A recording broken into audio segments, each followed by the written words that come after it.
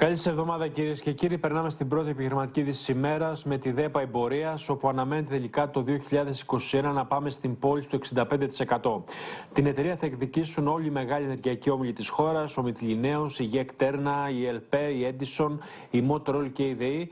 Όσες από αυτές τις εταιρείε που ανέφερε περάσουν στη δεύτερη φάση της πωλή δεσμευτικών προσφορών, θα μπορούν πλέον να έχουν πρόσβαση στα πραγματικά στοιχεία της εταιρείας. Αναμένεται οι δεσμευτικές προσφορές να υποβληθούν στο τρίτο τρίμηνο του 2020.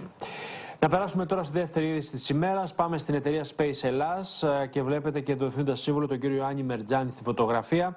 Η εταιρεία αυτή λοιπόν η σημαίνει στο χρηματιστήριο επένδυσε 1,27 εκατομμύρια ευρώ στην ΕΦΗ Γεωργία. Τι σημαίνει αυτό, ότι αγόρασε την εταιρεία Argo Apps, η οποία έχει τεχνητή νοημοσύνη μετρολογικά δεδομένα για τις γεωργικές καλλιέργειες στην Ελλάδα, μοντέλα ανάπτυξης καλλιεργειών και η εταιρεία θα μπορέσει να βάλει και δικό της μέλος στο τριμελές διοικητικό συμβούλιο της εξαγοραστής επιχείρησης επιχείρησης.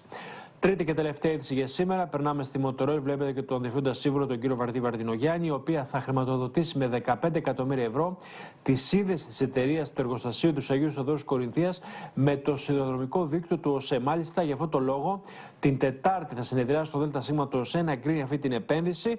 Το 2021 θα ξεκινήσει αυτή η επένδυση, αλλά το 2023, ενώ εκτός από τον όμιλο της Μοτορόιλ, ανάλογο έτοιμο υπάρχει και από την Ελβάλ του ομίλου Στασινόπουλου.